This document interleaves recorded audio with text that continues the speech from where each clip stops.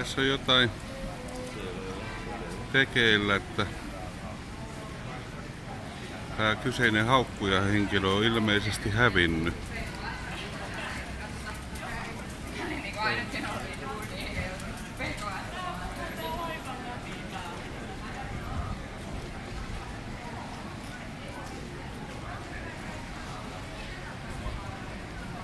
Moi. Sattumalta oli kuule lähetys päällä, kun ajelin tuossa autolla ja näin tilanteen niin streamin kautta. Niin, Markus Tiimistä. Niin. Ja nyt tämä kyseinen henkilö on vissiin hävinnyt, joka tämä shown aloitti.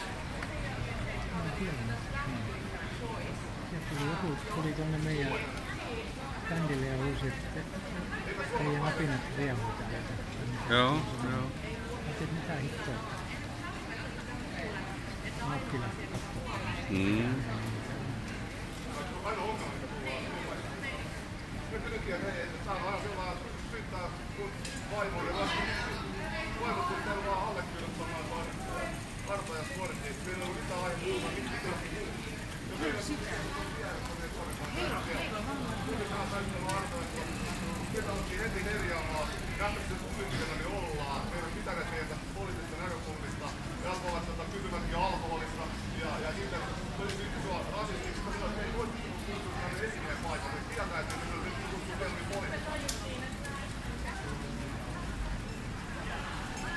Joo, mä näin, näin tämän pätkän, pätkän tota ihan suoraan li, livenä, kun se tapahtui. Ja tässä oli tämmönen suomea puhuva, minun mielestä tummenpiihoinen kaveri, joka provos tämän tilan, provosoi tämän tilanteen ihan niin al- alusta alkaen. Ja, ja tota,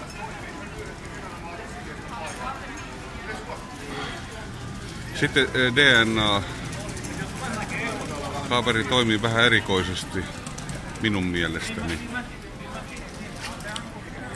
Eli tässä oli niinku provo, provokaatio meneillään niinku, ilmeisesti se oli käynyt siellä SK-teltalla aikaksi. Mä en tiedä, mutta sieltä joku kaveri, maastokokoinen kaveri, tuli tänne ja sanoi, että mitä ne teidän apinat riehuu täällä. Se oli niinku ihan niinku jotain oikein. Ja Matti lähti tänne katsoa, että mikä ihme juttu täällä on. Just. kysyin, että mikä, missä, se on DNA. Se on, se on tämä tilanne nyt, että tämä provokaatio alkoi sillä tavalla, että nyt niinku isän, isänmaalliset ja kansallismieliset, niin, niin ne on nyt sitten niinku järjestää heti vaan rasisteja ja fasisteja ja natseja, että et mä en ota niinku, niinku henkilökohtaisesti nyt tähän mitenkään siinä missään muussa mielessä kantaa muuta kuin sen, että mä näin livenä, että tämä oli selkeä provokaatio. Eli kai se suunniteltiin. Ö, sekin on mahdollista, jopa suunniteltu.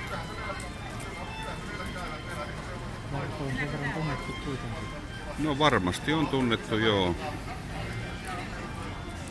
Kyllä. Ei tehdä.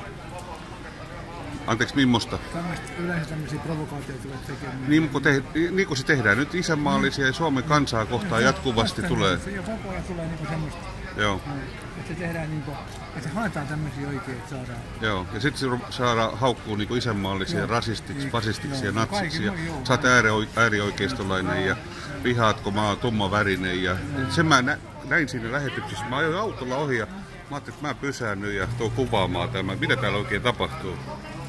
Mutta no poliisikki, niin mitä, mitä ne tekee tämmöisessä tapauksessa? Ne on, ihan turhaa niitä nyt on tänne kutsua. Mitä Niin, ne- kato, kun poliisijohto käskee tekemään Totta just, se on sitä, mitä ne tekee tavallaan. Ja, ja tässä pelätään heti, että jos poliisi, jos hän on isänmaallinen tässä tilanteessa, niin siinä on työpaikan lähtö liki. Heti, heti on kaikki kato. Mut kyllä tämä on niinku tää kaveri, mikä tässä koko ajan puhuu, tää maastokuviolakkinen mies, niin, niin se on koko ajan käynyt niinku sillä on melkein niinku hellakoukku. Siinä. No häntä provosoidaan koko ajan. Niin. ehkä vähän liian helposti kiivastuu.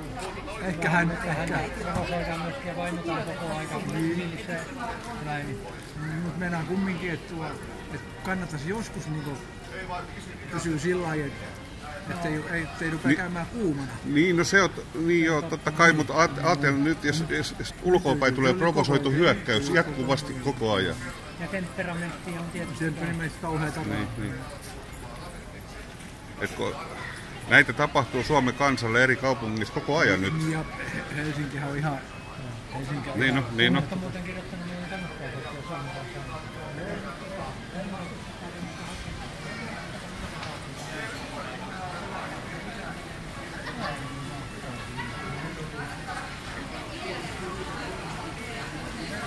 Joo, se tässä on niin kaikista ikävintä, että jos tämmöistä nyt esimerkiksi kuvaa tämmöistä tilannetta, niin kuvaajakin on sitten vähän päästä.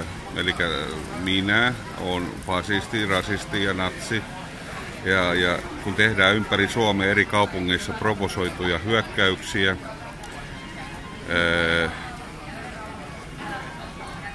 monilla eri tyyleillä, tavoilla ja, ja valtamedialehdistöhän ei ole niin sanotusti oman kansan puolella. Ja nämä uutisoidaan sitten vielä ylösalasi. Niin.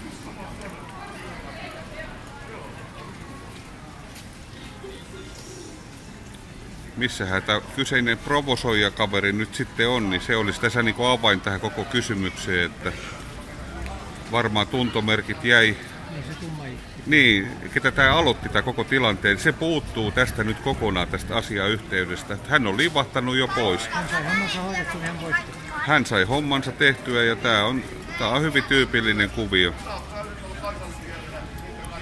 Jos oot isänmaallinen, rakastat kotimaatasi ja taistelet verbaalisesti tai millä tahansa keinoin isänmaasi puolesta, niin oot sitten äärioikeistolainen, fasisti, natsi ja niin poispäin. Mitä kaikkea nyt sitten vihapuhuja ja niin poispäin.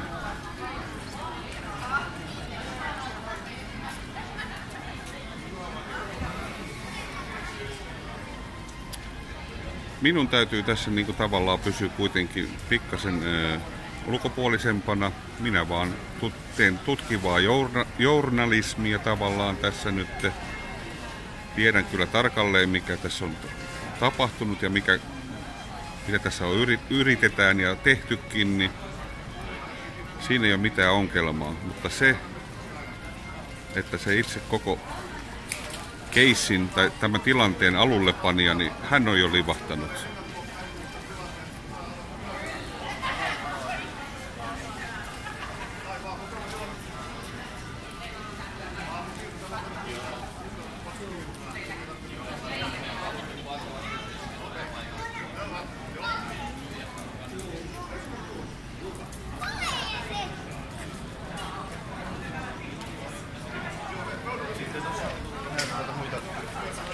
Joo. En mä taida tätä nyt kuvata enempää, ei se tästä parane. Mä lopetan tämän lähetyksen tähän näin. Se on Porista morjes.